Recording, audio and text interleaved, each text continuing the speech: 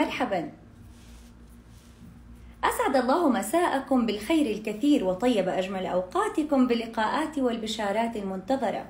أهلا بكم بالبث المباشر الخاص ببرنامج درب. معي أنا منى كنعان ونادي قراء أداة المبادرة التي تهدف بمختلف حساباتها وعلى جميع المنصات لنشر الثقافة والقراءة والفن والأدب والوعي. برنامج درب رحلة وعي من تجارب الحياة. ضيفتنا اليوم صديقة كل سؤال تائه يبحث عن إجابة شافية. بهدوئها ووعيها تعيد الأمور دائما إلى صوابها. سيدة البساطة والواقعية والعمق المرشدة لأسرار التشافي الذاتي وأساسيات الوعي الجسدي عن وعي وبحث وتجربة وعلم.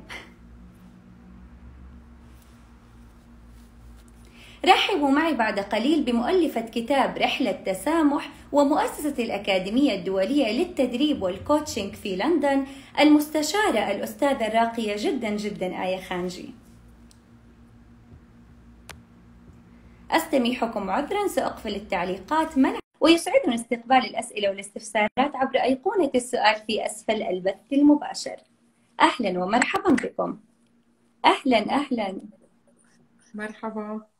أهلا أستاذة. آية نورتيني. أهلا فيكي ونورتي نادي قراء أداة. شكرا شكرا كثير شكرا سعيدة بوجودك معي اليوم. شكرا شكرا لك شكرا للدعوة اللطيفة وللمقدمة الرائعة. شكرا كثير كثير الله يسعدك. آه قبل البدء أستاذة آية هل تحبي إضافة شيء أو تودي إضافة شيء عن كتاب رحلة تسامح؟ آه كتاب رحلة تسامح الحقيقة يعني آه بالنسبة لي مو كتاب يعني فقط إنه هيك معلومات لا هو فعلا فعلا كأنه يعني جزء مني حطيته بهذا الكتاب. وأنا بعتبره إنه مثل يعني فعلا هو رحلة لأنه أنا يعني بحس مسمى الرحلة آه، فيه كثير شغلات يعني فيه شغلات حلوة وفيه شغلات أحيانا صعوبات وتحديات. فلهذا السبب رحلة التسامح بما في عمق التسامح اللي قادر إنه هو يعمل تشافي. فيعني هو رفيق درب. يعني أكثر من أنه قراءة لمرة واحدة. أنا بعتبر أنه هو ممكن يكون للقراءة من فترة لفترة أو ممكن يكون مرجع في بعض الأحيان للتقييم أو لبعض المعلومات الأخرى.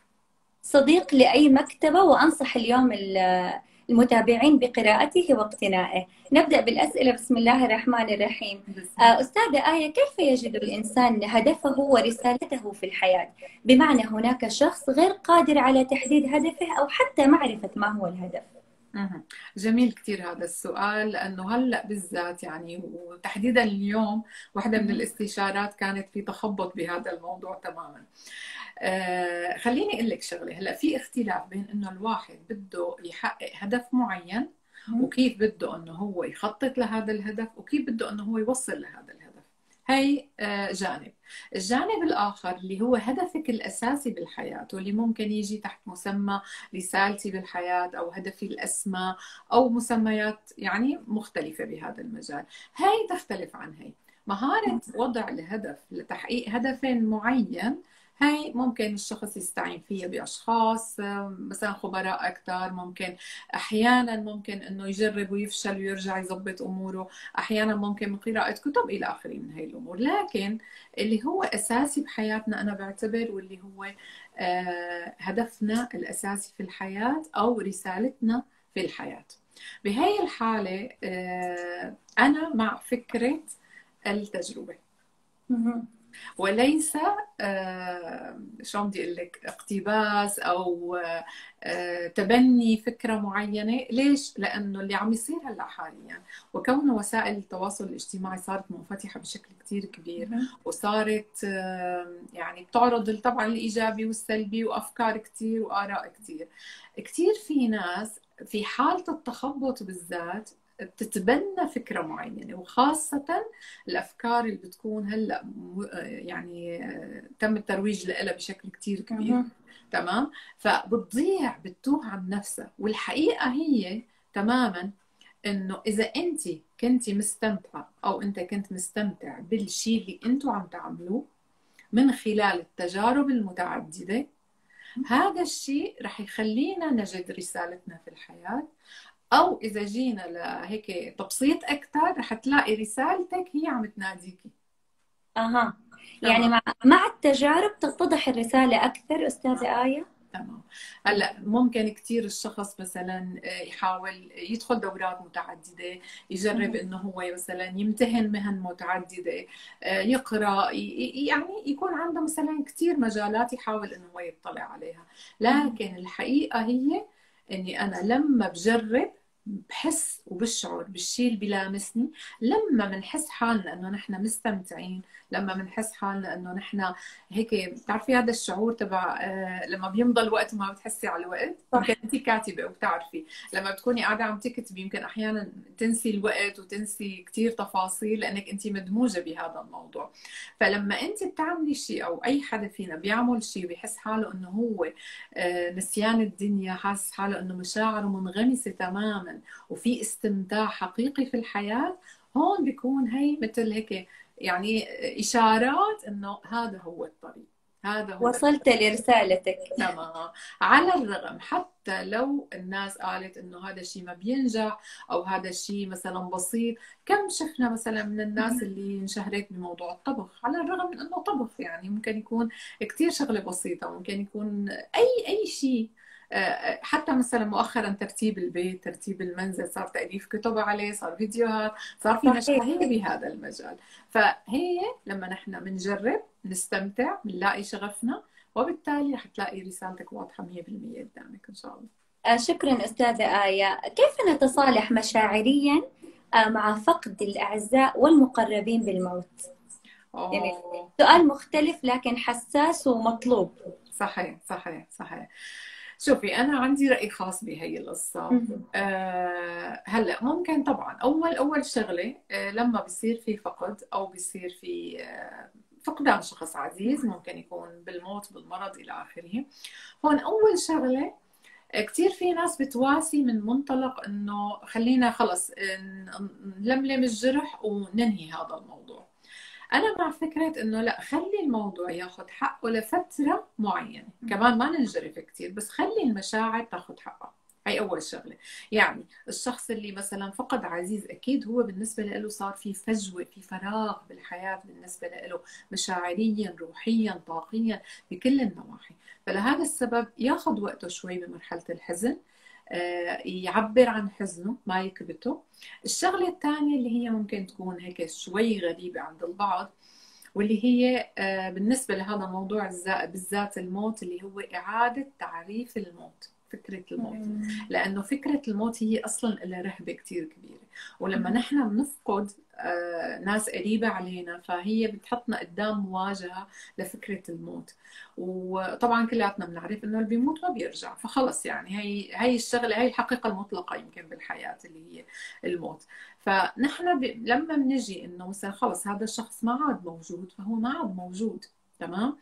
ففكرة الموت بحد ذاتها إني أنا مثلا آه، أعمل لها إعادة تعريف. ممكن كثير آه، ناس مثلا تعمل لها إعادة تعريف إنه هي مثلا آه، خلص انتقل لعالم آخر. ممكن إنه يكون في مثلا أي تعاريف حسب طبعا كل واحد ومعتقداته كل واحد وال طبعا المعتقدات الدينية بتلعب دور بهذا الموضوع.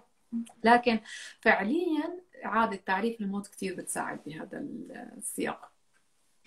كيف نعيد تعريف الموت؟ يعني كل شخص كيف ممكن يستفيد من هذا كيف يمكن الاستفادة من هذه المعلومة؟ كيف نعيد تعريف الموت؟ يعني نفكر فيه بعدة نواحي. يعني مثلا ممكن نفكر فيه إنه خلص حدا مات ما بقى يرجع. طب أوكي كيف أنا مثلا؟ وين راح؟ وين راحت هي الروح؟ ممكن أستعين كثير بآيات قرآنية. ممكن عرفتي هي بالأخير بتصير معتقد عند الشخص. يعني مثلا كيف ممكن نقول مثلا إنه الموت آه، صعب. الموت إفراء الموت عذاب الموت مثلا عرفتي في ناس كثير مثلا بتكون آه، بت مثلا بتعرفوا بجزئيات مثلا عذاب القبر أو مثلا مجرد إنه هو فراق. طب أوكي فراق ولكن ممكن إنه يكون مثلا إذا واحد قرأ أكثر أو تعمق أكثر بالموضوع هو رح يرتاح. يعني هي الواقع واقع خلص الموت موت. لكن نحن لما نعرفه بطريقة مختلفة طريقة نظرتنا وطريقة تعاملنا معه رح تكون مختلفة وبالتالي تأثيره علينا رح يكون مختلف. فممكن كثير يسهل. يعني ما عم ما عم ابدا يعني بقول إنه هذا الموضوع رح يصير هلأ. يعني وقت الشخص بيمثله حدا عزيز فورا يقعد يفكر ويعمل. لا لا لا. ياخذ وقته يخلي هاي المشاعر تطلع منه. بعدين يقعد بينه وبين حاله لفترة معينة ياخذ وقته كمان باعاده تعريف الموت.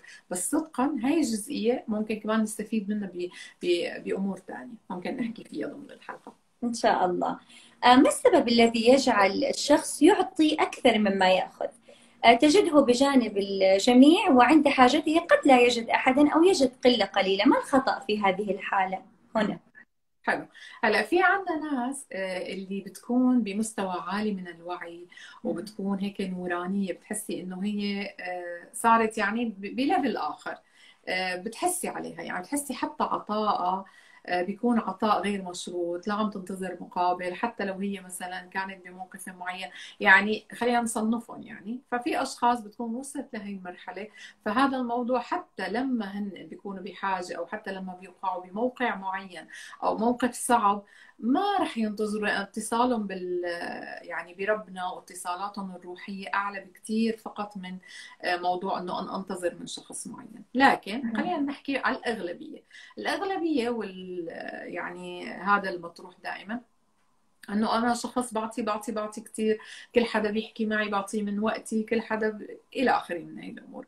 الخطأ هون اللي بيصير إنه الشخص اللي بيعطي بدون آه، ما يكون عم يوازن الموضوع فلما رح يصير بحالة أخذ فهو ما رح يقدر يأخذ.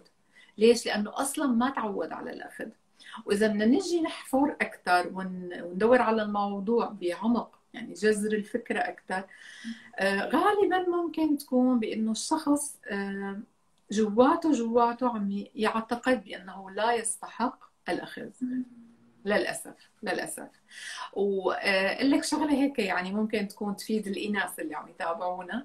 آه، إنه نحن للأسف المرأة تحت مسمى إنه انت لازم تعطي وتحت مسمى إنه انت مثلا مسميات كثير وخاصة إذا جينا كمان نخصص أكثر الام لأنه انت أم ولأنه انت لازم مثلا تكوني بكذا وكذا وكذا من هاي الصفات. فحطينا المرأة بالذات بخانة إنه هي عطاء عطاء عطاء عطاء. فصار الأخذ بالنسبة لها فيه شعور بالذنب.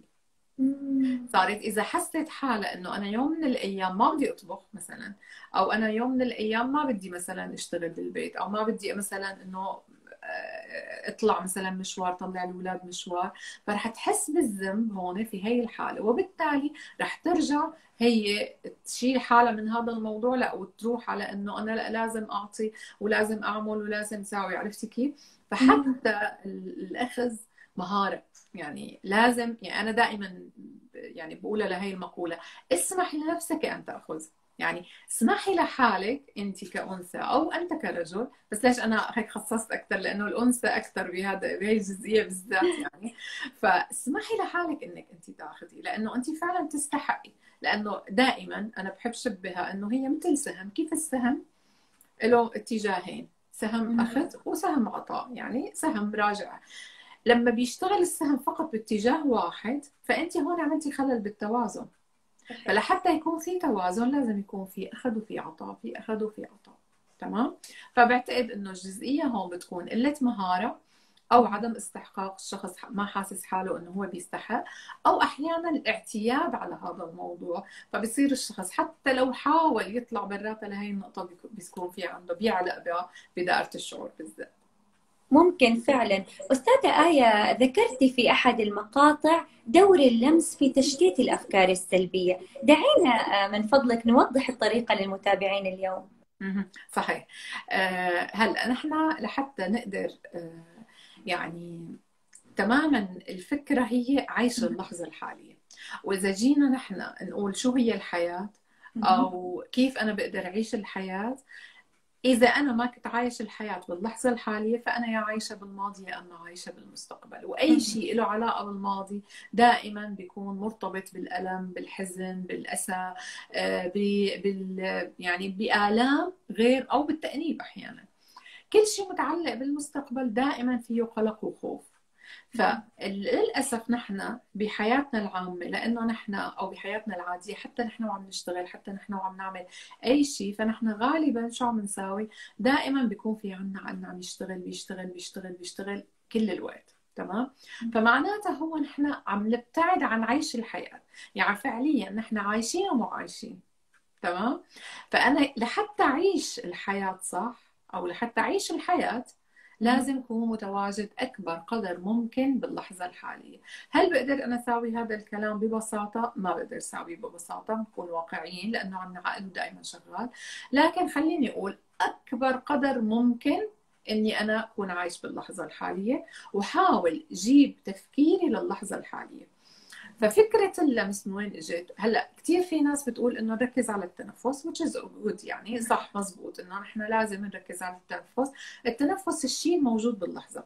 لكن أنا مع تجربتي ومع شغلي يعني وكثير تفاصيل مع مع الجلسات أو بالدورات إلى آخره لاحظت شغلة حتى مع نفسي طبقتها بعدين عممتها وصرت أحكي فيها إنه حاسة اللمس هي الشيء الموجود هلأ بالوقت الحالي تمام؟ يعني أنا هلأ موجودة هلأ بالوقت الحالي الكرسي اللي قاعدة عليه هو موجود بالوقت الحالي.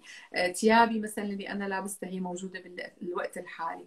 أي شيء أنا بلمسه بالوقت الحالي قادر إنه هو يجيبني للحظة الحالية إذا أعطيته تركيز. يعني إذا أنا مثلا معي موبايلي مسكته ومسكت هذا الموبايل معي قلم مسكته وركزت بهذا القلم فأنا رح يعني رح تنقطع سلسلة الأفكار اللي هي ماضي أو مستقبل بإني أنا أرجع للحظة الحالية. أنا كثير بستعمل هذا التكنيك بالجلسات أو بستعمله مثلا حتى بالدورات بدربهم عليه للمتدربين. إنه نحن أحيانا كبشر ممكن واحد يشت ممكن يفكر ممكن يسرح أي شيء. اللحظة الحالية العي... يعني العودة للحظه الحالية حاسة اللمس من أسرع الطرق. من أسرع الطرق. فورا أنت ممكن تعدلي جلستك تعدي مثلا آه، تلمسي المكان اللي أنت قاعدة عليه الطاولة اللي أنت مسنودة عليها. ففورا بتهيك بتجيب بتجيبك للحظة الحالية. فهي أداة لمساعدتنا لعيش الحياة. يعني نعيش الحياة عيش اللحظة. اكزاكتلي exactly. تمام. أيوه. آه، أستاذة آية كثرت مخاوف كثرت المخاوف بعد جائحة كورونا سواء من المرض آه، فقدان العمل أو الأشخاص أو حتى الشغف. وأيضا كثرت نوبات الهلع. ما النصيحة التي يمكنها التهدئة والمساعدة اليوم؟ تمام. هلأ بالنسبة لهذا الوقت طبعا الوقت آه، يعني اللي بنقدر نقول عليه إنه يعني ما هو وقت آه، خاص بحدا فينا. يعني مثلا حالة الخوف ما صارت حالة خوف لشخص لأ. هلأ تعممت الفكرة على الكرة الأرضية كلها. فكلياتنا كبشر آه، يعني خلينا نقول التعب على جانب المخاوف تبعنا. تمام؟ فلهذا السبب نحن أكثر ناس بتخاف من هذا الموضوع هي اللي عندها خوف وقلق وإذا قلنا عن نوبات الهلع بنرجع للسؤال اللي سألتيني إياه بالبداية واللي هو موضوع الموت. أه. فالخوف من الموت وحدة من الشغلات اللي كثير ممكن إنه هي لما نحن ما يكون عندنا يعني هي بنرجع كمان لوحدة من الحلول إحدى الحلول هي إعادة تعريف الموت. لما أنا بعمل إعادة لتعريف الموت فأنا فعليا قادرة إني أنا آه، أو قادر إني أنا أتعامل مع الحدث بخوف أقل. بخوف أقل. فهون نحن شو عم يصير عندنا لأنه الموضوع صار عام ولأنه صار مثلا ما بقى على فكرة فقط الصحة. صار على فكرة فقد الوظيفة فقد مثلا الاستقرار فصارت اللعب على المخاوف بشكل كتير كبير. فهون نحن بنحتاج إنه ممكن نعيد إعادة يعني نستفاد من فكرة إعادة تعريف الموت. نحاول نحن شوفي التعامل مع الخوف كمان أنا بعتقد إنه في هيك يعني تكنيك حلو. ممكن نستعمل آه، طريقتين. الطريقة الأولى هي إنه نحن نواجه الخوف، يعني نقعد مع حالنا، أوكي أنا من شو خايف؟ خايف مثلا من آه، الإصابة بالمرض، طيب صار صارت الإصابة، شو رح يصير؟ طيب باخذ دواء، برتاح، باخذ إجازة، إلى آخره، عرفتي كيف؟ فأنا بواجه الفكرة أصلا، لأنه هي الفكرة لحالها، إذا أنا ما واجهتها، هي لحالها عم ترعبني. هي لحالها عم تعمل تأثير داخلي وبالتالي قاعدة عم تعمل يعني مثل محرك داخلي. نحن بدون ما ننتبه كل تصرفاتنا وردود أفعالنا بتكون بناء عليها. تمام؟ فباللحظة اللي الشخص بيواجه الفكرة آه إنه أوكي صار شو رح يصير؟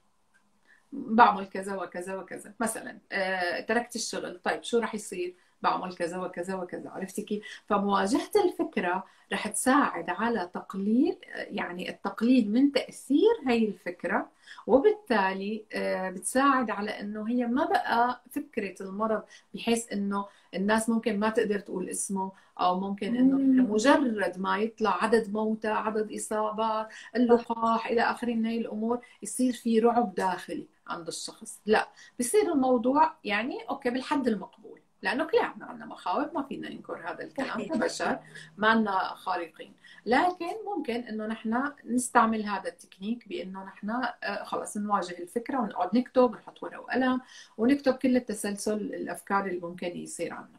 في فكرة ثانية أنا كثير بحبها بموضوع الخوف بالذات لكن هي يعني ما بتناسب كل الأشخاص واللي هي المبالغة بالحدث إلى حد التسخيف. كيف يعني؟ يعني أحيانا ممكن إنه نقول أوكي خلينا ناخذ مثال نفس اللي طرحتي اللي هو كورونا. انصابت مثلا انصبنا انصبت أنا انصابت العائله كلها بعدين البلد كلها والعالم كلها ماتت وما بعرف عرفتي كيف يعني الواحد يقولها بطريقة يعني عرفتي أقرب إلى السخريه يعني إيه يساويها مثل السخرية ويسخف الموضوع. فهون مثل بس برجع بقول إنه مو كل يعني مو كل الأشخاص قادرة تعمل هذا الكلام لا ممكن فورا يزيد خوفها أكثر إنه لما تقول هذا الحكي. أو ممكن إنه تعتبر الموضوع لا إنه ما ما بقدر أنا أكمل يعني بهي القصة. لكن هي بالحقيقة كثير مساعدة لأنه حتى بالأخير ممكن توصل لمرحلة أنا أحيانا بتبعها مع المستفيدين بالجلسات نوصل لمرحلة بنضحك. عرفتي كيف يعني؟ هو الشخص هو وقاعد عم يحكي المخاوف وبيسلسلها وبيكبرها بيكبرها بيكبرها لدرجة التسخيف والسخرية فبالأخير بيضحك يعني إنه ما بدك كل هالشيء صح؟ فعلا ما بدك كل هالشيء عرفتي كيف؟ هلأ مع المحافظة بالحدود الدنيا مثل ما قلنا كبشر لمخاوفنا بس بعتقد يعني إنه ممكن هي الآليات وقت اللي بنحس بالخوف الشديد كمان هي ملاحظه نعمل على تفريغ المشاعر نحاول نطلعها قدر الإمكان بأي سلوك ممكن إنه هو يساعد. في سؤال قادم عن تفريغ المشاعر ما حنستبق الأحداث. من الذي يصنع أدوارنا في الحياة اليوم؟ هل نحن أم الظروف؟ آه والله الحقيقة أنا مع فكرة إنه آه، الإنسان الواعي هو اللي بيتحمل مسؤولية حياته. فأدوارنا مسؤولياتنا أولوياتنا كلياتها هي آه، نحن مسؤوليتنا نحن. هلا ممكن نقول لا okay في أقدار في آه، مثلا في ظروف معينة لا مثل هذا الظرف الحالي بالكرة الأرضية كلياتها. كل هذا الموضوع okay لكن هو عبارة أنا لما بيكون عندي الشيء واضح بالنسبة لي فهي عبارة عن مؤشرات أو ممكن تكون رسائل أو ممكن تكون مثلا اختبارات لحتى إنه هي تمشيني بالطريق اللي هو آه، يعني بالأخير أنا اللي آه، اخترته. فأنا مع إنه الإنسان يتحمل مسؤولية حياته. لا يمكن أن تكون بالمشاركة يعني نص علينا ونص على الظروف. ممكن ممكن طبعا. بس ما عم لك هي شوفي أنا بس لحتى الواحد آه، ما يلاقيها شماعة سهلة. أه. يعني أنت بتعملي اللي عليكي وطبعا بنسلم لرب العالمين إنه خلص أنا سويت اللي علي. بس إذا صار شيء خارج عن إرادتي هو بيكون ممكن لحتى يقول لي ليش أنا قلت لك إشارات أو رسائل ممكن لحتى يقول لي إنه هذا الطريق مو هو طريقك. ممكن يقول لك إنه إنه لا انت هلأ مانك ماشية بالطريق الصح. عرفتي كيف؟ أو ممكن يقول لك انتبهي من بعض التحديات أو بعض المخاطر. فهي يا أما لحتى إنه تكون آه، مؤشرات أو ممكن تكون أشياء مساعدة. في كثير ناس أصلا استفادت من الوضع الحالي. ناس ما استفادت بس في ناس كثير استفادت من صح فعلا. فالظروف هي نحن ممكن نحن كيف بنشوفها بس إنه نحن نقول إنه نلاقيها سهلة بإنه خلص هيك شماعة إني أنا أحط عليها أخطائي وهي. لا أنا مع فكرة إنه نحن نتحمل مسؤولية حياتنا مسؤولية أدوارنا واختياراتنا.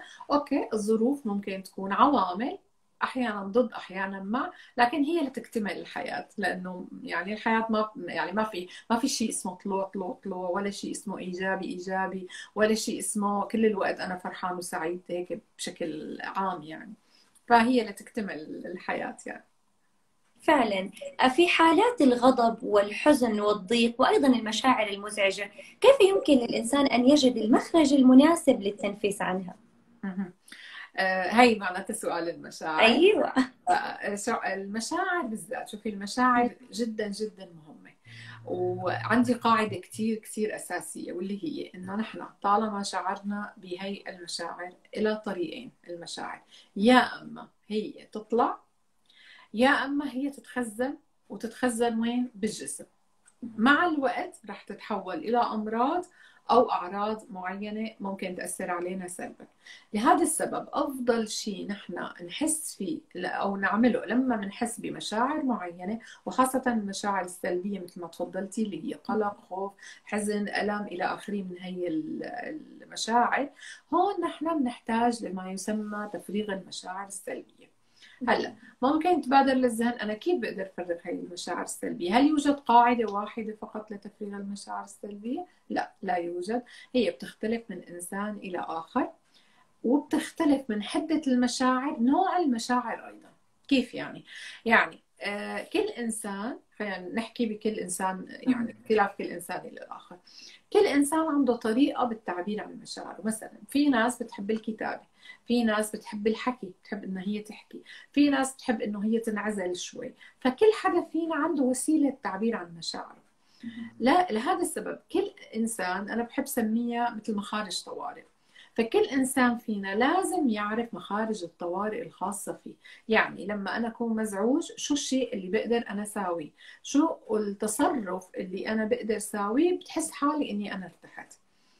فلهذا السبب لازم جرب خارج الوقت الطبيعي لحتى يعني الوقت اللي أنا بعصب فيه ما هو بجرب لا بحاول إني أنا أجرب شو الشغلات اللي بالعادة بحس إنها هي بتهديني.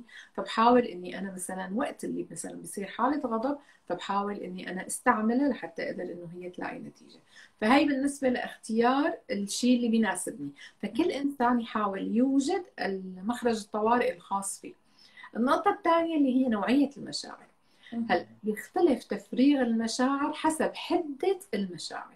يعني إذا عندنا مثلا ألم أو إذا عندنا حزن أو هيك يعني شيء مثلا ما فيه هيك مشاعر داخلية كثير هيك قوية فهون التفريغ ممكن يكون بسلوك أو تصرف بسيط. يعني ممكن يكون بال ممكن يكون إنه واحد يشرب مي ممكن يطلع يتمشى شوي ممكن إنه يسمع أغنية مثلا. عرفتي كيف؟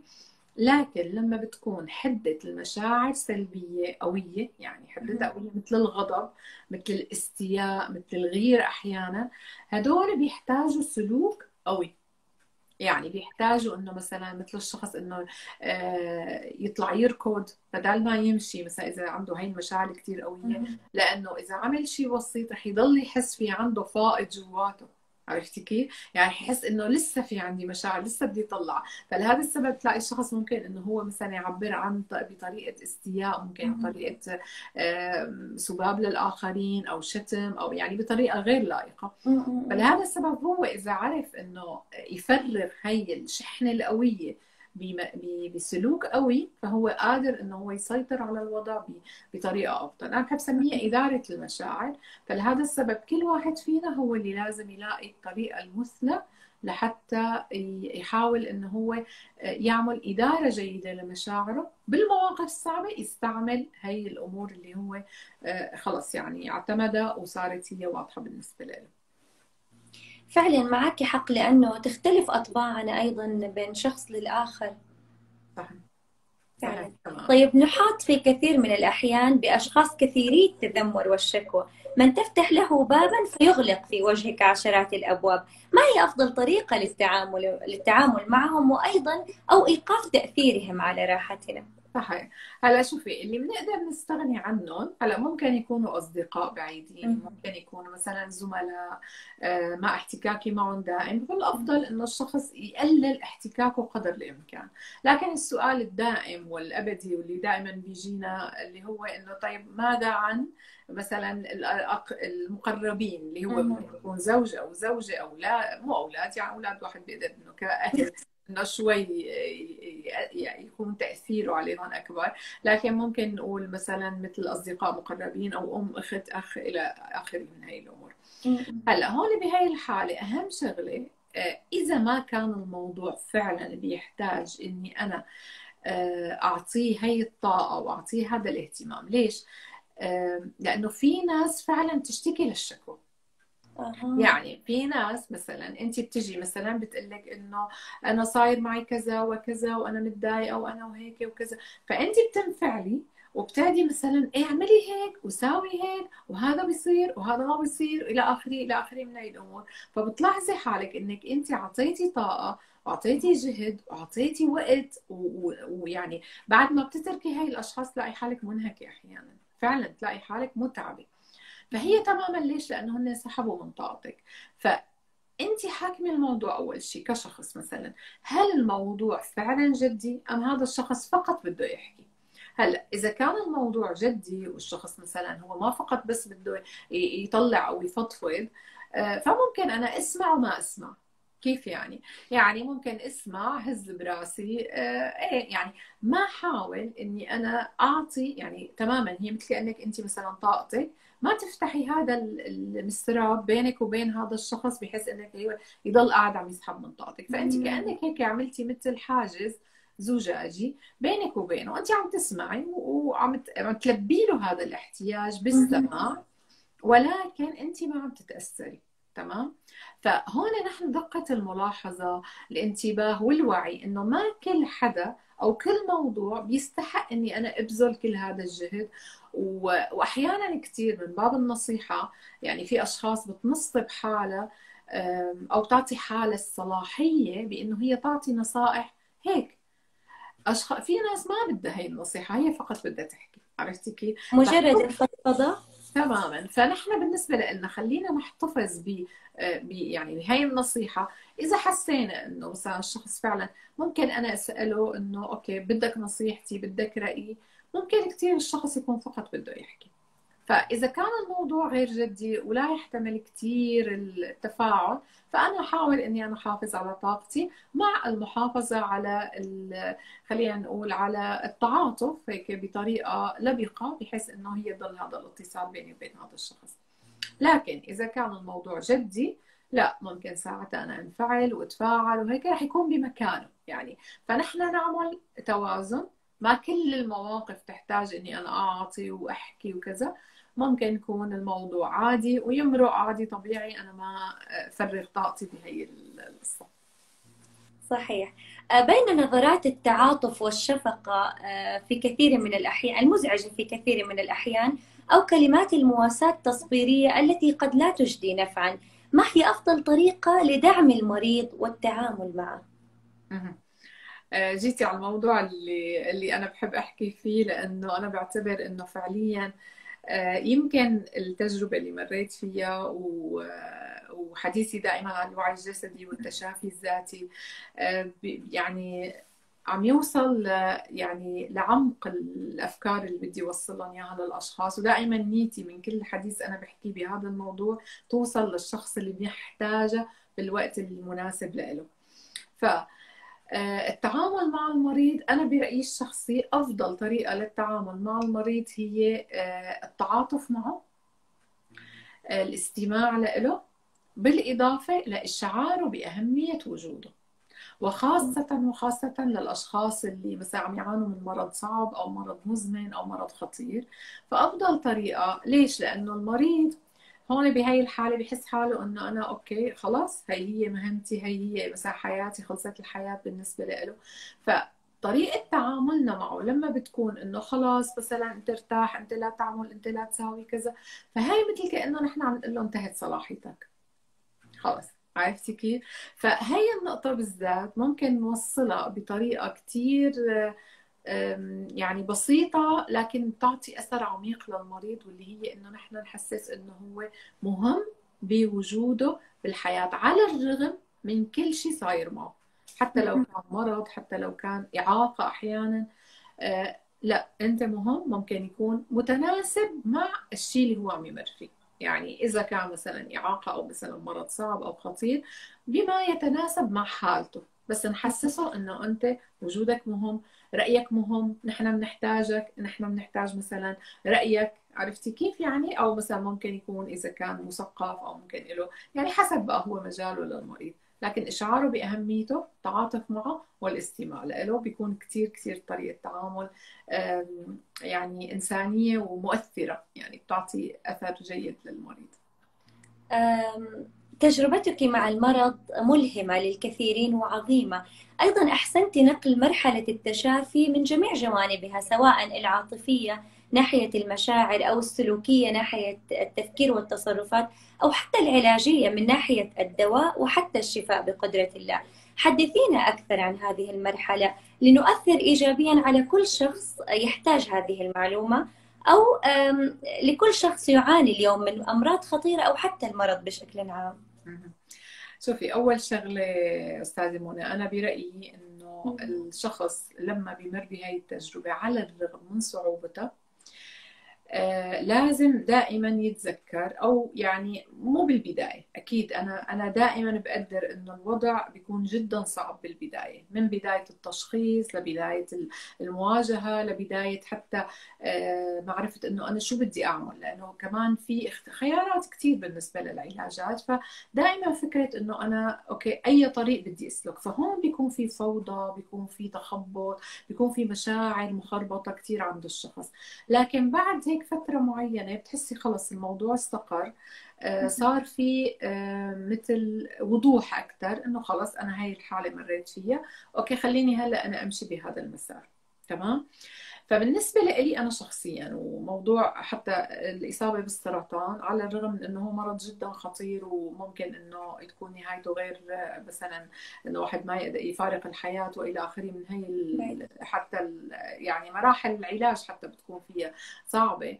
لكن بعد مرور الفترة فترة الصدمة خلينا نقول الفترة اللي بعدها اللي هي التشافي بشكل عام يعني رحلة التشافي اللي هي أنا حطيتها بأربع مستويات لحتى نحن نقدر فعلا نعمل تشافي كامل اللي هي على المستوى المشاعري على المستوى الفكري التفكير وعلى مستوى السلوك اللي هو بيتضمن العلاج وطرق العلاج اللي أنا بديها وعلى المستوى الطاقي. لا الطاقة هي للأشخاص اللي ممكن إنه هي بتآمن بالطاقة الناس اللي ما بتآمن بالطاقة ما في مشكلة بهذا الموضوع بكفي المحاور الثلاثة اللي قبل وطبعا يمكن بتعرفي أنت حضرتك إنه أنا حاطة هذا الموضوع بشكل مجاني كورس كامل كامل على اليوتيوب كورسين واحد الوعي الجسدي والثاني التشافي الذاتي الفطري. معلوماتهم جدا عميقة جدا آه، مفيدة للأشخاص اللي عم تمر أو اللي حواليها ناس عم تمر بهاي المرحلة. ففيهم هن يستمعوا لهذا يعني لهذا الكورس بيقدروا ياخذوا تفاصيل أكثر بكثير يمكن هالوقت ما بي ما بيسعنا إنه نحن نغطي هذا صحيح نذكر المتابعين بوجود كورس كامل متكامل عن جميع الأمراض آه، في يوتيوب أستاذة آية. يمكنكم الاطلاع عليه؟ والقناة هي باسمي آية خانجي.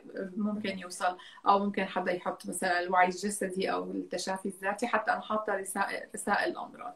فالفكرة هون كمان إنه نحن بعد ما نمر بمرحلة الصدمة واعتماد طريقة العلاج وممكن بقى نبتدي بقى نفكر آه، طريقة العلاج بتكون بالاستفادة. يعني أنا كثير برجح إذا حدا مثلا عم يمر بهاي المرحلة أو عنده قريب عم يمر بهاي المرحلة يستمع لفلسفة التشافي الذاتي.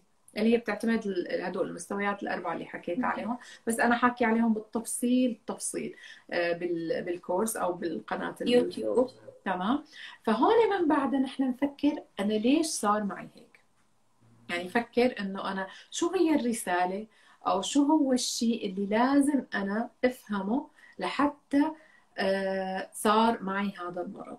وأنا مع فكرة يعني هي نصيحة شخصية لكل الأشخاص اللي عم تمر بهذا الشيء أو يعني بعيد الشر عن المشاهدين لكن ممكن يكون هن أو ممكن يكون حدا قريب لهم دائما لما بيكون في حدث قوي بحياتنا وخاصة الأمراض وخاصة الأمراض الجسدية الأمراض الجسدية في ألم جسدي والألم الجسدي دائما موجع.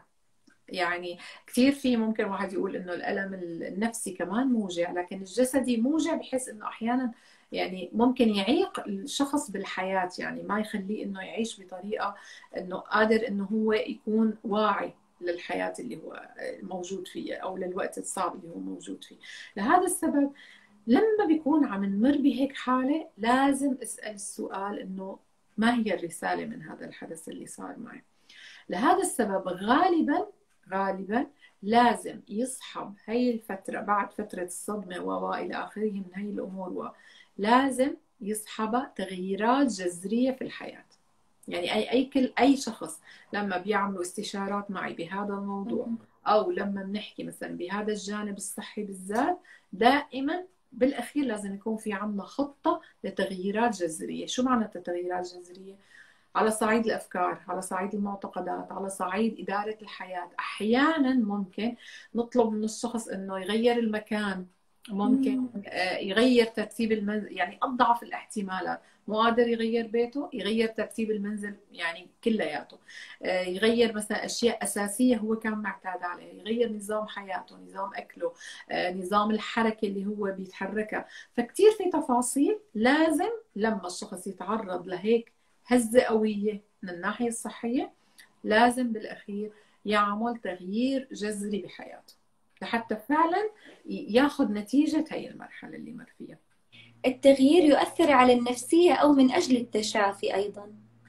آه لا هو يعني كأنك أنت عم تقولي إنه أنا فهمت الرسالة لأنه لما بده يفكر الشخص إنه أنا ليش صار معي هيك لابد يلاقي جواب كثير في ناس بتتخبط بهذا الموضوع. وأنا كثير كثير بفهم هي يعني الفكرة إنه أنا ممكن لأنه في ناس حتى بترفض فكرة okay أنا ليش مرضت؟ لا خلص هو قدر وخلص okay؟ هو قدر أكيد ورب العالمين مقدره علينا بس هو طالما مقدره علينا فهو خير. فكيف هو خير إذا هو مرض؟ خير معناته أنا لازم أعمل شيء يغير لي حياتي. فلازم نحن لما بصير معنا هيك شغلة تغير الحياة ليش؟ لأنه أنا خلص فهمت ليش اجى المرض، لأنه لا يمكن يجي المرض آه، وخلص تضل البيئة نفسها نفسها. كأني أنا عم أقول إنه أنا ما فهمت الرسالة. فلما لا أنا بفهم الرسالة فهو الموضوع. كمان في فيديو على وهي طبعا دائما هذا السؤال اللي كثير كثير بحير ناس. كيف أعرف رسالة المرض؟ في عندي كان سؤالي الآن. تمام. أي ف رسالة المرض في فيديو على اليوتيوب حاكي فيه تماما بالتفصيل كيف نحن بنقدر نكتشف رسالة المرض لأنه هي بتختلف من شخص لشخص بتختلف من نوع المرض وكثير تفاصيل على هذا بهذا الموضوع. فأنا حاكيتها بتفصيل جدا عميق بقناة اليوتيوب. اسمه حكمة المرض أو كيف تعرف رسالة المرض. الفيديو. لكل مرض رسالة ونذكركم بالاطلاع على هذه الفيديوهات اللي فعلا درستي فيها الحالات بطريقة جميلة جدا أستاذة آية ومفيدة يعطيك ألف عافية. أخيرا كيف يعني ما هي أفضل طريقة للتعامل مع المرض؟ هل المقاومة والمحاربة أم التسليم؟ وكيف يصل الإنسان لمرحلة التسليم والرضا؟ آه ما بعرف يمكن سمعتيني من قبل أو يمكن تعرفي رأيي أنت كمان إنه أنا مع فكرة آه عدم مقاومة المرض علما. إنه ممكن آه، كثير تكون موضوع تحدي المرض ومقاومة المرض وأنا بدي أكسر المرض وأنا يعني كثير تعابير وأنا بحترمها كلياتها وأنا مع إنه كل شخص هو شو بيحس. لكن أنا عم بحكي عن عن نفسي وعن تجربتي. أنا مع فكرة آه، مصادقة المرض. يعني هذا المرض اجى على جسمي جسمي آه، عم يقول لي رسالة معينة عم تقول إنه في سبب ما في خلل بالتوازن في شيء غلط بده تصليح. فأنا بدال ما إني أنا قاوم وبس قاومت فأنا رح زيد طاقة المرض ورح زيد طاقة حتى لو صار العلاج حتى لو أحيانا ممكن يصير يخمد ويرجع يطلع مرة ثانية فكل ما قدرت إني أنا صادق المرض بحيث إني أنا أوكي شكرا أنا فهمت الرسالة. وقت يعني فعليا أنا هذا اللي صار معي آه، يعني خلينا نوضح للمشاهدين أست... للمتابعين أستاذة آية تجربتك لو سمحتي. طبعا أنا تجربتي مع إذا أمكن. السرطان. إي طبعا. تجربتي طبعا مع مرض السرطان. فأنا بوقتها وقت طبعا أخذت وقتي وتألمت وأخذت يعني عملت كل اللي أنا يعني كل اللي أنا عم بحكيه أنا جربته.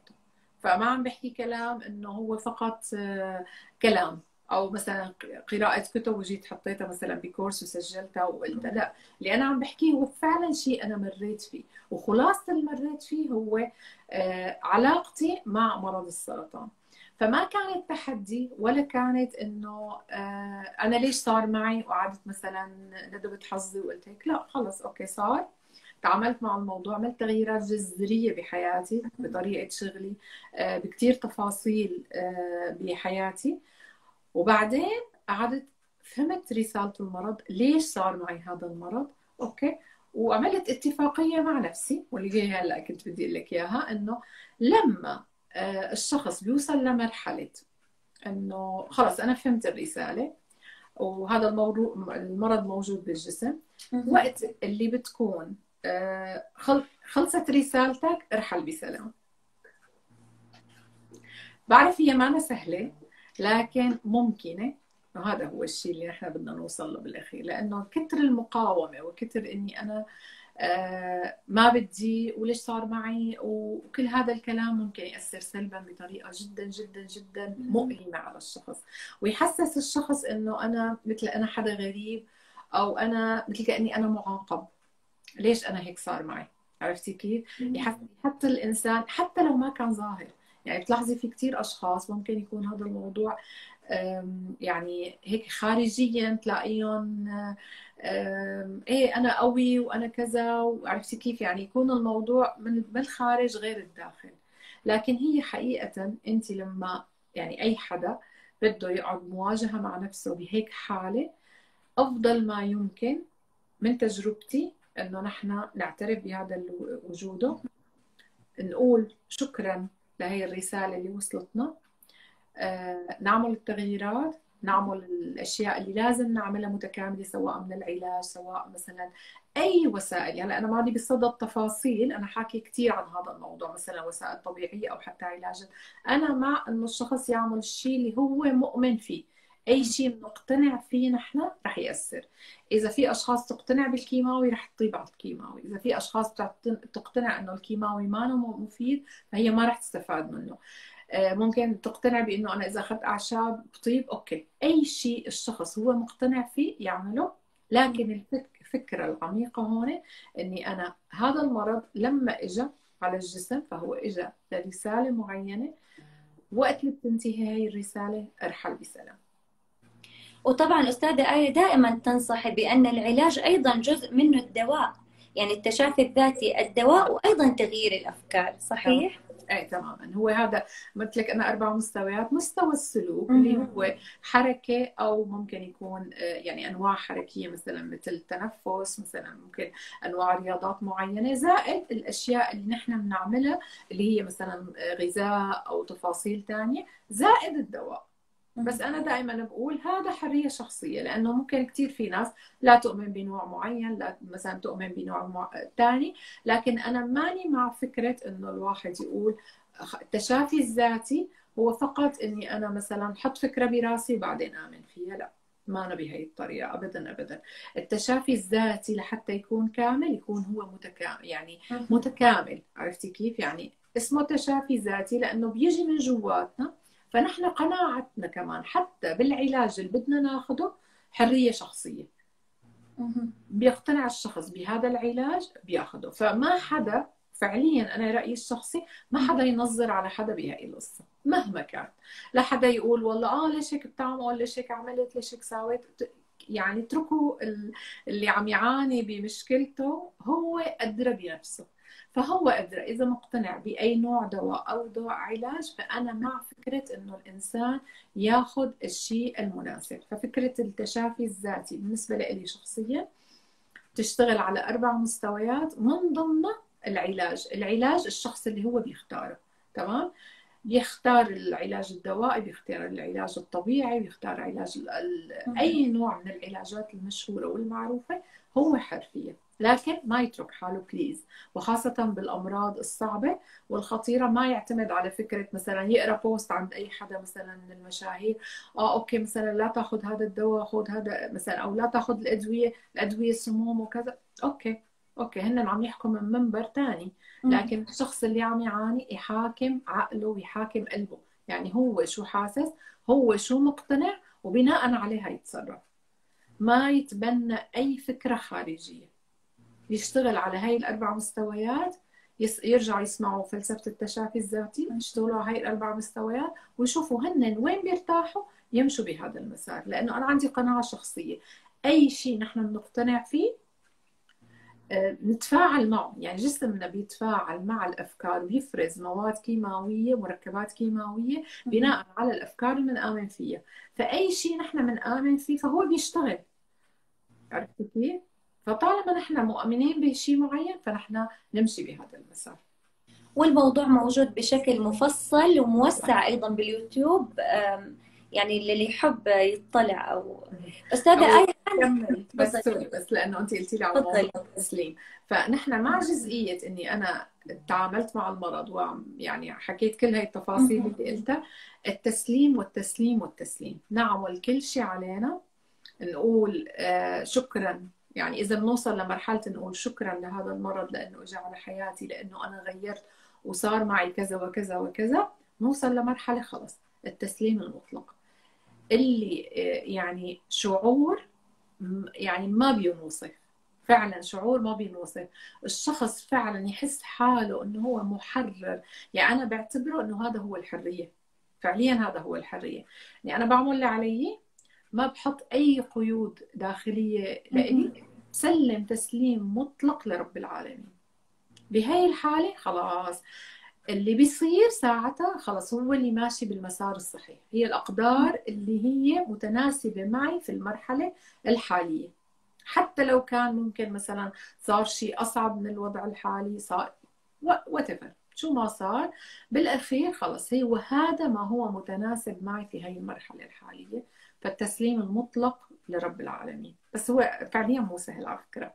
يعني فعلا صعب جدا. لكن وأيضا الكلام جديد أستاذ آية فيه الكلام جديد أحيانا على المتابعين يعني إنه فلسفة التشافي الذاتي لكن إن شاء الله حيفهموها أكثر بالمقاطع اللي حضرتك مشكورة آه، نشرتيها مجانا في اليوتيوب. أي صحيح لازم ننوه إنه مجانا هو الكورس موجود. بشكل مجاني في اليوتيوب أستاذة آية الآن مع أسئلة المتابعين يمكنك التوقف متى شئتي بحسب وقتك وأيضا وقت البرنامج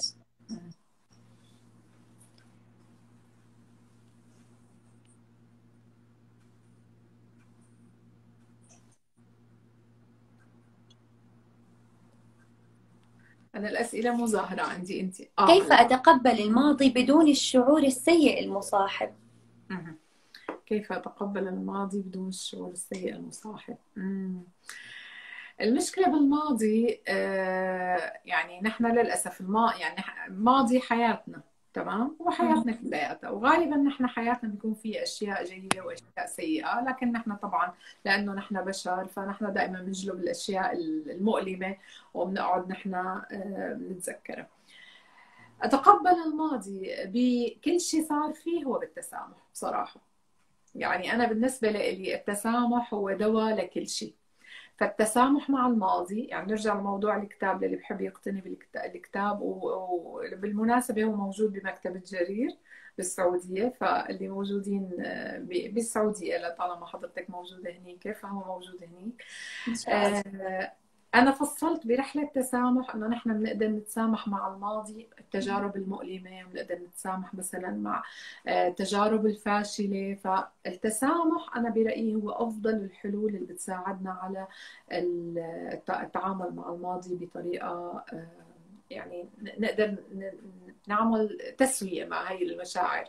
فبدل ما إنه هي كل مرة تجيب لنا ألم لا نحن نتسامح معها ونقدر إنه نحن آه، نكمل حياتنا بهدوء. وعلى سيرة التسامح أنا حتى بالكتاب حاطة قسمين يعني قصدي آه، فصل آه، قسم التسامح مع المرض والتسامح مع الجسد. يعني حتى المرض والجسد ضمنتهم ضمن رحلة التسامح. إن شاء الله أنصح الجميع بقراءته. وأيضا أنا لسه ما قراته إن شاء الله يعرف قريبا. أستاذة آية هل تقصدي بالتسامح مسامحة الأشخاص والمشاعر أيضا؟ يعني أو التعايش التسامح التعايش أو المسامحة. تمام. هلأ في فكرة كثير مغلوطة عن التسامح إنه نحن لما نتسامح آه، خاصة مع أشخاص اذونا أو خاصة مع أشخاص مثلا آه، انزعجنا من تصرفات معينة. ففي فكرة مغلوطة إني أنا آه، لازم أتسامح مع هذا الشخص وأتقبله مثل ما هو أو إني قل له إنه مثلا أنا سامحتك أو ارجع أتعامل معه أو كل هي الأمور. التسامح أنا بحب أعرفه يعني عندي تعريف خاص للتسامح آه، شاركته بالكتاب اللي هو أن تسمح لشعور الحب والسلام أن يكونوا بداخلك. فسماحنا لنفسنا إنه يعني نسمح لشعور السلام يكون آه، بداخلنا فهذا هو التسامح. فمعناتها نحن لما بصير أي موقف سلبي قديم أو مع أشخاص أو إلى آخره من هي الأمور أفضل طريقة هي إنه نحن نحرر نفسنا من هي المشاعر السلبية اللي هي آه، بتأثر علينا علما إنه الموقف راح. فهي كانها عبارة عن أوزان حاطينها على كتافنا وماشيين فيها بهي الحياة. كل ما نحن شلنا من هي الأوزان مع كتافنا كل ما تحررنا. صدقا صدقا. اللي بيعمل تسامح وبيحاول آه، في رحلة التسامح هي 21 يوم 21 آه، فقرة. كل ما قدرنا نحن نعمل كل هاي الفقرات كأنه فعليا نحن حررنا نفسنا. صدقا كأنك حررتي نفسك. شايفة الطير كيف هيك بيطير دائما وجناحاته مفرودة بتحسي حالك نفس الإحساس. وغلاف الكتاب عبارة عن طائر ويد آه، أنا عشق جدا جميل الغلاف يعطيك ألف عافية. أستاذة آية في أيضا سؤال كيف كيف نحول الموقف السلبي في حياتنا إلى الإيجابي؟ آه، ذكرتي بالمقدمة أنه أنا آه، أميل إلى الواقعية. فأنا مع والبساطة والعمق أيضا. صحيح تماما. فأنا أي شيء بحب دائما أفكر فيه بعمق بسط الموضوع ودائما يكون واقعي. فتمثيل الإيجابية أنا برأيي أسوأ من إنه يكون الشخص سلبي. نمثل على حالنا إنه أنا إيجابي وإنه صار موقف معين. لا لا لا أنا لازم ما أنفعل. لا لا لا أنا لازم آه، مثلا ما أعمل مثلا هذا الشيء لأنه لازم إني أنا أكون إيجابي. أنا بعتبر هذا أسوأ للشخص من إنه هو يتأثر ويتضايق من الموقف السلبي. هلأ كيف بحول؟ يعني ملاحظة مهمة خلينا نعتبرها مثل كأنه قاعدة. هلأ كيف بحول الموقف السلبي إلى إيجابي من طريقة تفكيري؟ طريقة التفكير. كيف طريقة التفكير؟ يعني ممكن الشخص يكون تفكيره صار موقف سلبي. أوكي؟ صارت مصيبة واحد بحياته يعني شغلة سلبية جدا. ففي عندك طريقتين من التفكير. الطريقة الأولى أنه أنا ليش هيك صار معي؟ وأنا حظي قليل وأنا منحوس وأنا دائما هيك المصائب بتلاحقني وأنا وأنا وأنا وأنا وأنا. تمام؟ الطريقة الثانية بتقول طيب أوكي صار اللي صار. هل فيني غيره؟ ما بقدر غيره خلص صار. كيف فيني أنا أطلع من هذا الموقف؟ شايفة الفرق؟ تفكير بالحل يعني؟ تفكير بالحل تفكير بإنه أنا مثلا ممكن يكون مثلا مشروع وخرب آه مثلا صار في أي كارثة ضمن المشروع. يعني عم ناخذ الموضوع أكبر حتى نبالغ فيه لحتى نشوف إنه حتى بالمبالغة يعني بالأشياء الكبيرة بنقدر نستفيد منها. فهون ممكن إنه لما بتصير هيك مثل هيك شغلة مثلا كثير كبيرة نفكر بطريقة أوكي أنا كيف بقدر أطلع من هذا الموضوع؟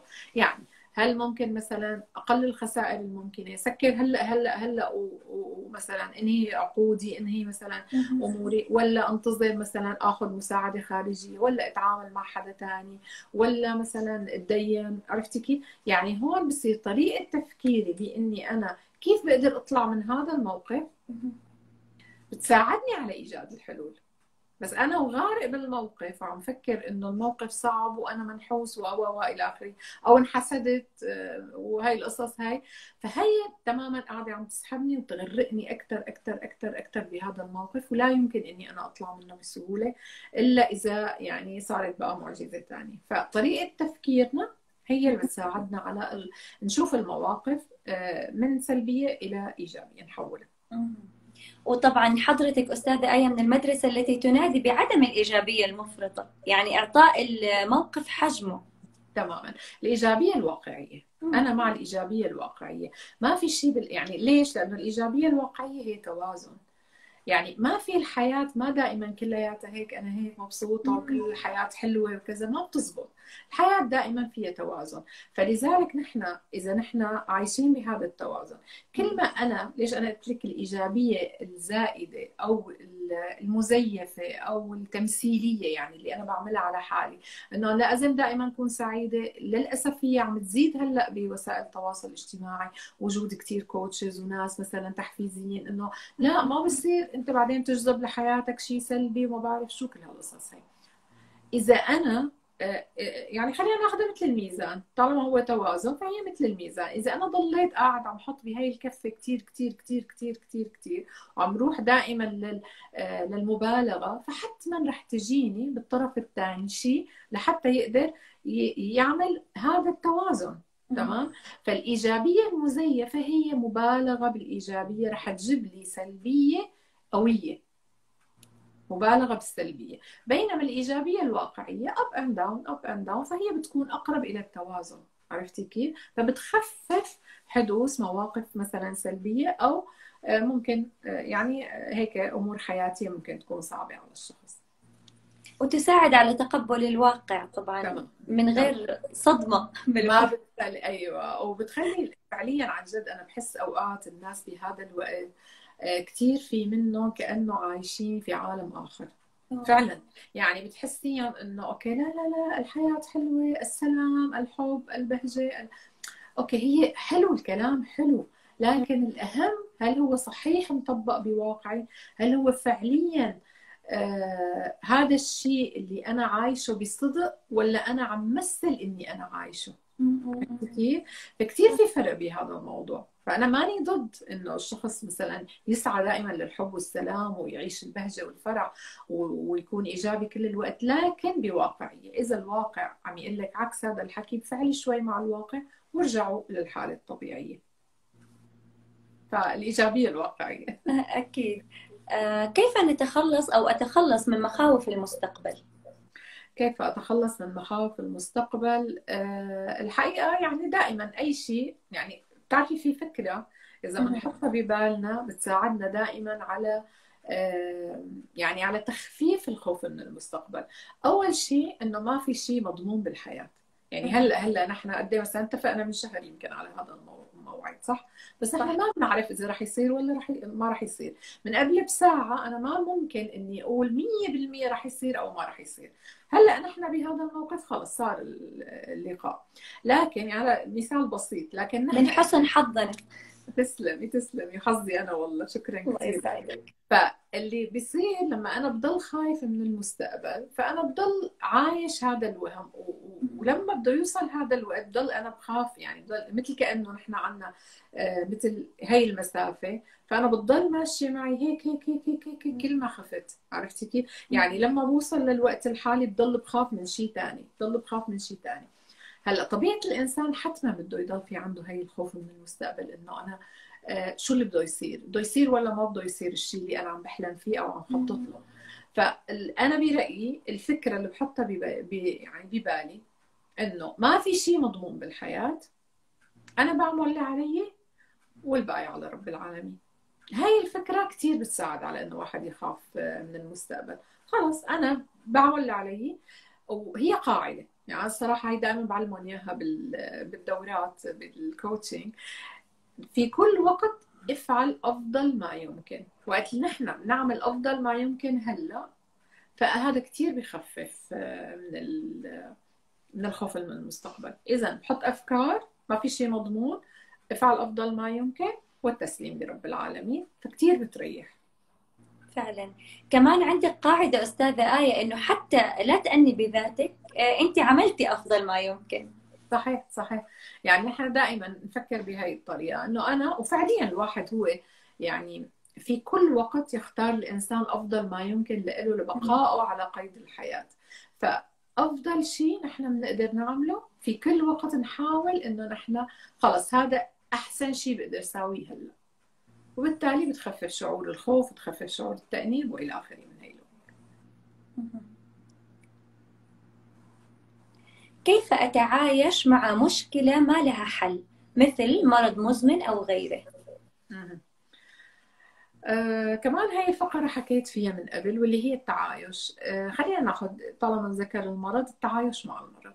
طيب التعايش مع المرض هي خلص الشخص بده يلاقي نظام أو سيستم آه، يمشي عليه متناسب مع حياته. يعني يكيف ظروف حياته مع الواقع اللي هو موجود عليه. يعني إذا عنده مثلا عجز معين ما بيقدر مثلا يستعمل أطرافه مثلا العلوية أو أطرافه السفلية أو عنده أي شيء ممكن نتيجة هذا المرض المزمن خلص يتعايش معه ويقرر إنه هو آه خلص هاي هي حياتي هلأ تمام؟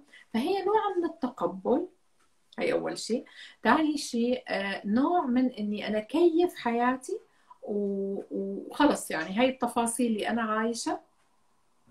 وهون أنا مع فكرة يمكن ساعد بهي النقطة إنه نطلب المساعدة من الآخرين. نطلب المساعدة من الآخرين. يعني في حال أنا كان لازم حياتي تتكيف بطريقة معينة نتيجة مثلا مرض أو نتيجة, عجز معين فهون ممكن أنا أطلب إنه أنا ما بقدر أعمل هذا الشيء. هل ممكن إنكم تساعدوني بهذا الكلام؟ عرفتي كيف؟ بحيث إنه تصير حياتي متناسبة مع وضعي الحالي. إذا اليوم تنادي تفضلي.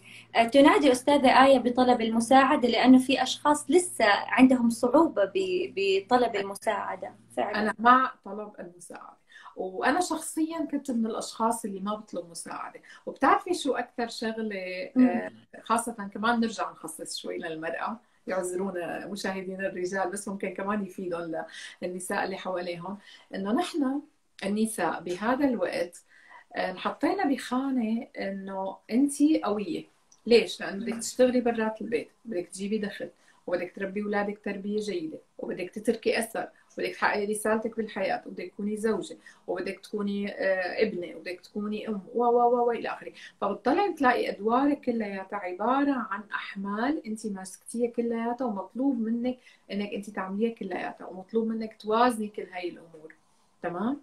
فالنساء غالبا يعني مو كلهم بس لما بتنعطى مسمى انت قوية وانت الامرأة الحديدية وانت خارقة وانت وانت وانت فرح يصير داخليا شعور بإنه أوكي معناته أنا كيف بدي أطلب آه، من فلان أو من فلانة مثلا مساعدة وأنا قوية؟ هذا هذا الصراع الداخلي. لا لا لا خليني أنا ساوية للشغلة بدل ما أني أطلبها. عرفتي كيف؟ فبصير شوي شوي هاي المهارة خلص يعني بتنعدم. تمام؟ بعد فترة إذا وجهنا لها انتباه ممكن إنه هي تقوى وترجع تصير عنا مهارة ونقدر فأنا أي مع طلب آه، المساعدة. طب خلينا نفيد المتابعين. إذا أمكن كيف تغلبتي على هذا الطبع؟ إنك ما تطلبي مساعدة. صحيح. آه، أنا فترة من فترات حياتي كثير تلقبت إنه انت قوية. يعني خاصة مثلا بفتره المراهقة يعني كان عمري 18 سنة توفى الوالد وأنا الابنه الكبيره الله يسلمك. آه، فهون من هون ابتدت عندي الفكرة إنه لا انت مثلا البنت الكبيرة وانت قوية وانت لازم تعملي كذا عرفتي كيف؟ يعني الألقاب اللي هي أنا بعتبرها إنه هي بداية آه، الفترة اللي بتخلي الشخص أو الأنثى مثلا بزيادة إنه هي تبتدي بقى هيك يعني تتقوقع على حالها بإنه هي كافية وقادرة إنه هي تعمل كل شيء لازم تعمله وهي قادرة مثلا تساوي وتعمل وإلى آخره من هي الأمور. فابتدت معي بعمر مبكر هذا السبب بعدين مثلا إنه دائما آه، قوية. يعني إنه انت شخصيتك قوية انت قادرة تعملي. فانتبهت عليها فتره من فترات حياتي إنه لا هي عم تمنعني إني أنا مثلا أطلب مساعدة أو إني مثلا أنا أكون على طبيعتي أحيانا. عرفتي كيف؟ بإنه أنا مثلا في شيء ما بقدر أعمله ما كل شيء الإنسان كل إنسان بيقدر يعمل كل شيء إيه، فالانتباه لها بعدين شوي شوي تدريب. أوكي أوقات واحد بحسها صعبة. إيه، ممكن ترديد عبارات إنه لا مثلا المساعده جيدة. ليش لا؟ مثلا الناس بتحب تساعدني. أنا عم ساعد العالم خلي الناس تساعدني. عرفتي كيف؟ فشوي شوي بيبتدي هي تدريب أول شيء ملاحظة بعدين تدريب بعدين إنه الشخص شوي شوي يبتدي يمارسها حتى لو حس بضغط نفسي. إيه، بعدين لا يعتبر الموضوع عادي. شكرا جزيلا أستاذة آية. أكيد أفدت الكثير من المتابعين وأنا. كيف أحقق أهدافي وأحلامي إذا كنت أشعر بالكسل وعدم الإرادة بشكل دائم؟ يعني كيف التغلب على الكسل أتوقع لتحقيق الأهداف والأحلام؟ شوفي آه، تحقيق الأهداف والأحلام بيحتاج لماذا قوية؟ معناتها أنت إذا عندك كسل أو ما عندك إرادة أو هيك فما أنت ما عندك الدافع القوي لتحقيق أهدافك.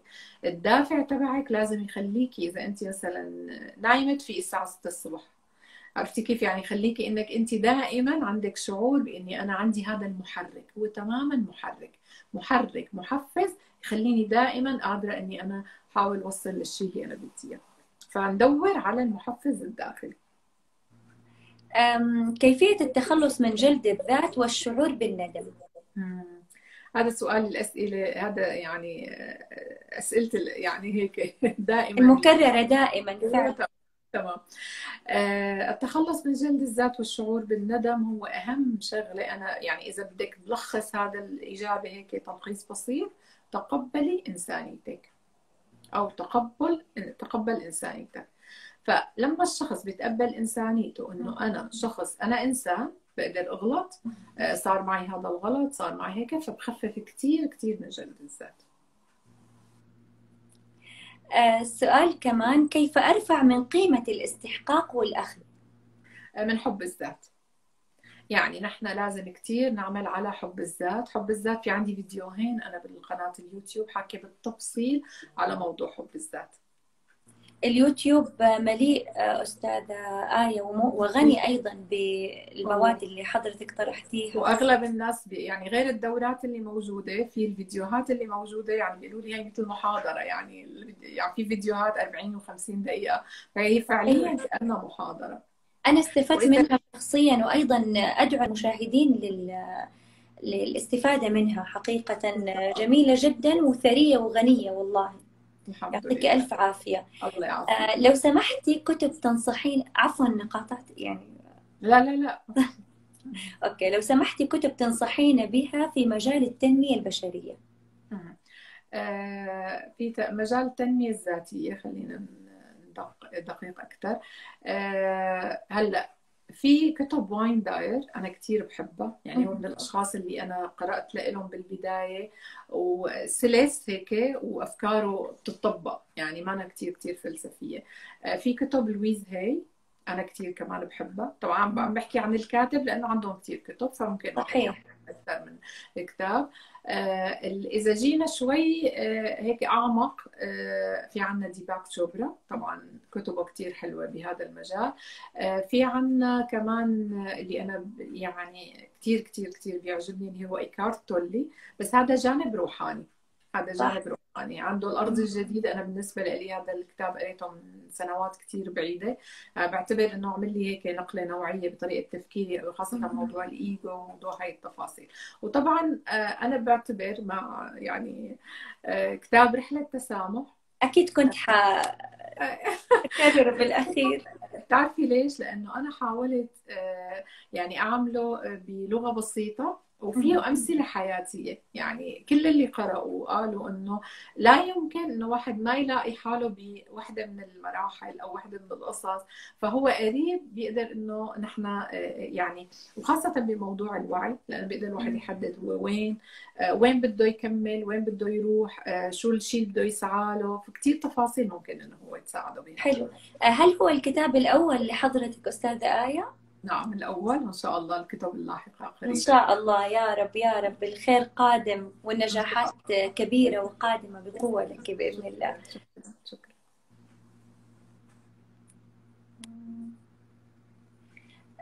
نكمل أو ممكن كيف نتخلص أو كيفية التخلص من كثرة التفكير؟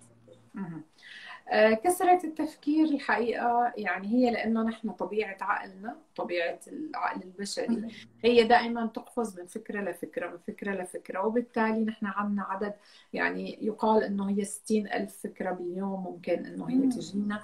لكن هاي الأفكار طبعا هي أفكار آه يعني مثلا مو كل نحن كل يوم عندنا 60 ألف فكرة مختلفة عن اللي قبلها. لكن هي مكررة. عرفتي كيف يعني كل يوم عندنا بهذا القدر من الالاف من الأفكار.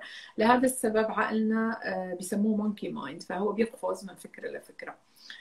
أول شغلة نقدر نحن نساعد حالنا بكثرة التفكير هي إنه نحن نفرغ الأفكار.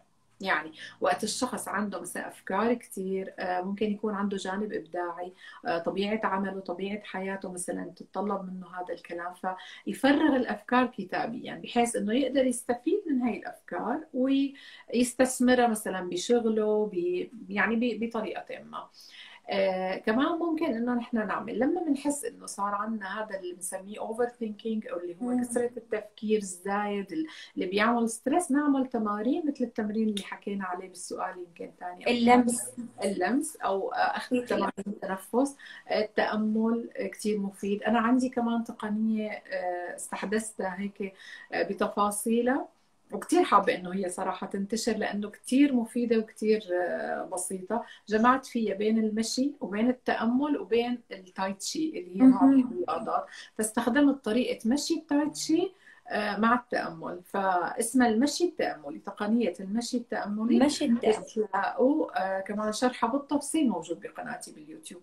كثير كثير مساعدة لتخفيف لازم بعد الحلقة على اليوتيوب على طول. بإذن الله. السؤال آه، أستاذة آية كيف نجد أو كيف ممكن نحصل على الكتاب في الأردن. الأردن موجود. آه، هي دار النشر آه، الدار العربية للدراسات والنشر. هي الدار بالأردن أصلا. فهي موجودة مكتبة هنيك بالمكتبات موجود. طيب الحمد لله. في السعودية بجرير وبالأردن عند دار النشر. تمام. وبلبنان موجود بأكثر من مكتبة وحتى بمصر موجود. آه، وممكن طلبه عن طريق حتى النسخة الإلكترونية اللي بيحب إنه النسخة الإلكترونية في ناس كثير بتحب تقراها نسخه الكترونيه موجود على أمازون على كيندل.